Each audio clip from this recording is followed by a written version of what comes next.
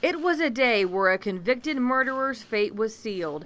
Steven Murray told Judge James Blanchard in a Burke County courtroom that he wanted to spend the rest of his life in prison and waive the death penalty trial for killing Father Rene Robert, the priest who had been counseling him during the time he was murdered in April of last year. My question is, are you voluntarily entering this plea to be sentenced to life without parole plus 10 years?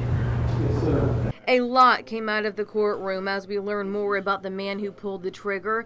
The defense said that Murray lived a life of nightmares, something that we could never understand, a product of his environment. The defense says that Murray's father routinely beat him, raped him, made him drink his own urine, and forced him to perform numerous sex acts with his sister.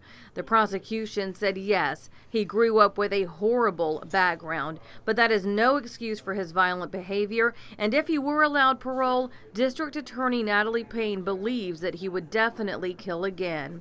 Before Murray was handed down his sentence, he addressed the court. I'd like to apologize to the friends, family, the loved ones of Father Rene, and I know they're looking for an answer as to why and what happened, but I can't give no answer. You know, all I can say is I'm sorry, and I didn't mean to do it, and I ask their forgiveness as Father Rene has forgiven me already. I ask for their forgiveness to my family, I'd like to say I love y'all with all my heart and hope everybody finds peace with this.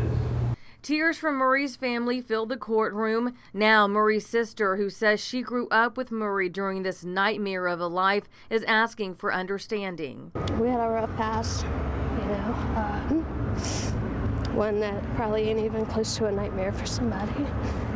So, he has problems, and I mean, unless you lived our life, you know, you really know, don't know what we went through. And Father Robert's nephew says that he's not sure if his family can ever truly forgive the man who took Father Robert's life. I'll have to think about it for the rest of his life. I hope he does every single day. I hope he loses sleep over it every single night. Before Murray walked out of the courtroom, Judge Blanchard said that normally they say, quote, may God have mercy on your soul for death penalty cases, but he said it during Murray's case. Judge Blanchard said the punishment Murray faces here on earth pales in comparison to the punishment he faces in the afterlife. Reporting in Burke County, Ashley Campbell, WJBF News Channel 6.